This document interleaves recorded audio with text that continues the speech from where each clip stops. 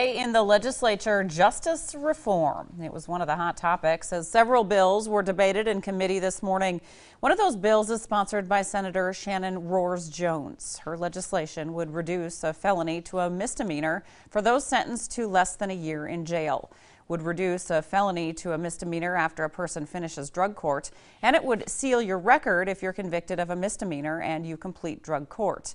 We talked with the bill's sponsor who tells us it's a great step to get people's lives back in order.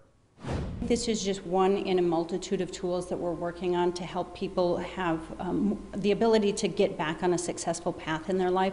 And this is also going to be a real strong incentive for people to um, to dig in and really participate in drug court because there's that there's that carrot at the end of the process. Also discussed in committee today, a bill that would reduce sentencing if a person performs certain education programs and has good behavior.